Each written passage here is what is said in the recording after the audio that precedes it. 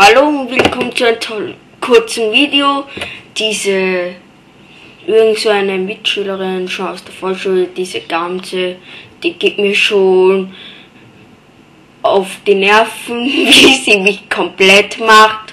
Ja, sie ist kleiner als ich, obwohl sie älter ist. Ich bin 11, sie ist 13, aber ich bin 1,45 Meter und sie nur 1,38 Meter. Wie diese Ganze mich komplett macht. Ach ja, das Mädchen kann man sich nicht mehr zutrauen. Am liebsten würde ich sie nach Amerika schicken. Das kann ja keiner mehr aushalten. Und sie ist so aggressiv. Einmal hat sie die Elena mal die Arche gerissen. Nur weil sie etwas nicht durfte. Deshalb mag ich sie überhaupt nicht.